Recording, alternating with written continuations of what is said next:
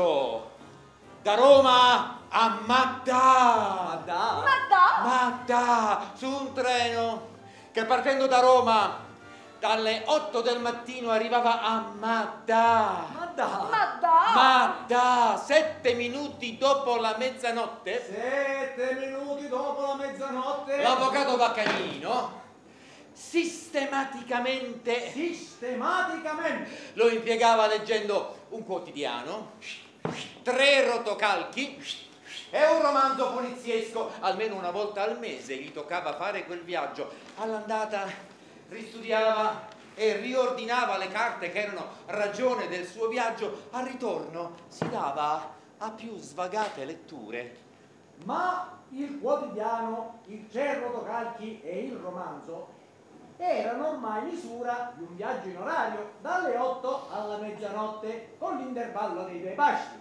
Uno sul vagone ristorante eh, e l'altro sul traghetto. Il guaio era quando il treno si caricava di ritardo e consumata la carta stampata, non potendosi dedicare nemmeno a guardare la campagna o il mare che ora scorrevano nella notte amorfa. Il sonno cominciava a insidiarlo e c'era pericolo che andasse a finire pesantemente addormentato alla stazione terminale, come già una volta gli era capitato. Perciò, quando il ritardo si verificava su un treno ormai quasi vuoto, l'avvocato si dedicava alla ricerca dei giornali abbandonati dai viaggiatori e si sentiva salvo soltanto quando ne trovava qualcuno fascista, di moda o di fumetti che fosse. E fu così che una notte d'estate, col treno che già a Catania aveva 40 minuti di ritardo, Amor, ed era prevedibile ne avesse 120, amor. prima di arrivare a Madda, l'avvocato... Vent'anni, Tani? Oh, no. Vent'anni, Tani? Ne, ne, ne. Oggi sono, Ehi, Mhm. niente, sono. Ehm, oh, ehm, ehm, tu ne? Tu di? Tu, tu, tu, che te? Non so cosa mangiare, Tani? Oh, boh, dov'è abbiamo? No, non ti